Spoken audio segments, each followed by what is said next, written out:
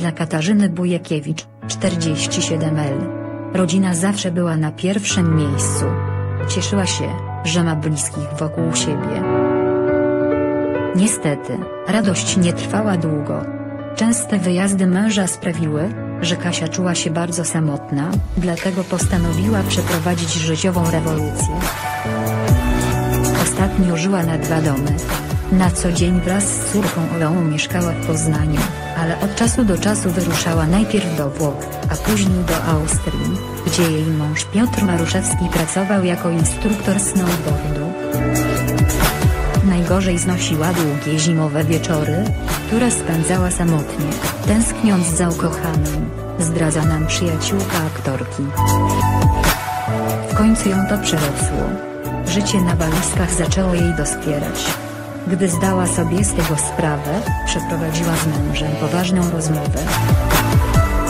Oboje ustalili, że Piotr wraca na stałe do Polski. Niestety, jej radość nie trwała długo. Gdy ukochany otworzył na poznańskich Jeżycach centrum treningowe, Katarzyna nie kryła dumy. Kiedy tylko czas jej pozwalał, odwiedzała go razem z córką. Cieszyła się, że dziewczynka wreszcie ma na co dzień ukochanego tatusia. Wydawało się, że w życiu pary wreszcie zapanował ład i porządek. Sielankę zburzyła jednak decyzja Piotra, który rozpoczął współpracę z Karoliną Kołeczek.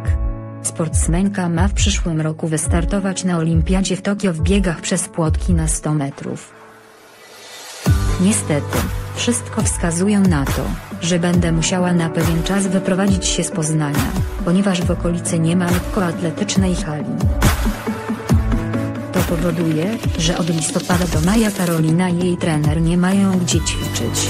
Nasz kierunek to ciepłe kraje, zdradza Wojkiewicz.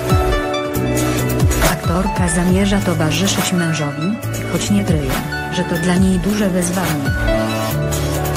Najpierw zamartwiała się o córkę, ale potem dotarło do niej, że taka chwilowa zmiana szkoły może być dla Oli korzystna.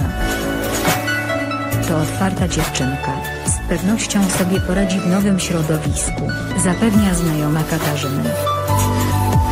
A ona dodaje, mam męża, dziecko i dom. Marzenia mi się spełniły, dlatego nie mogę narzekać. I już rozgląda się w sklepach za dużymi walizkami, w które spakuje dobytek rodziny.